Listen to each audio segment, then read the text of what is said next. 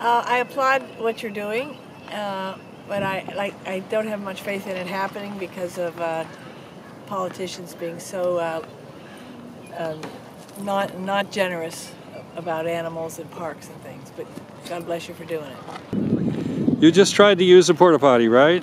I was going to. And what I happened? changed my mind. There's a big puddle in the middle of the floor, and the toilet paper is crowning up out of the hole in the toilet. So I'm gonna have to take a pass. I think the porta potties are terrible, and we deserve real bathrooms here.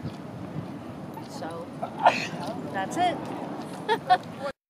This is disgusting. It's so dirty. It's like because this is just you know it's unhygienic.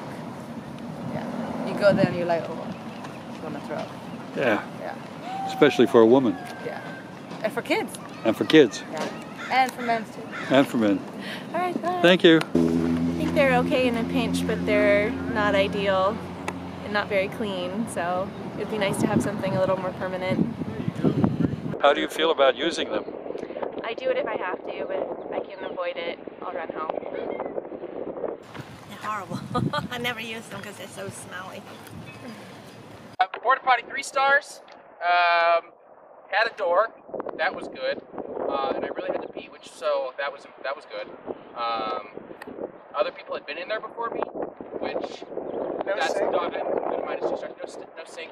Dirty hands.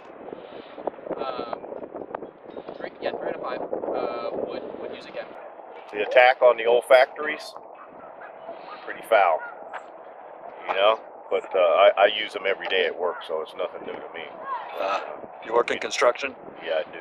Do they maintain them better there than they do here? They absolutely do. As a matter of fact, I mean that, that's the first thing that hits you is the smell when you walk in there. You know, so you think they'd be a little more maintained in a public park area, you know, especially with children coming and going. Uh, especially if this is the only bathroom, you know, it could stand a little work. Be an upgrade, definitely.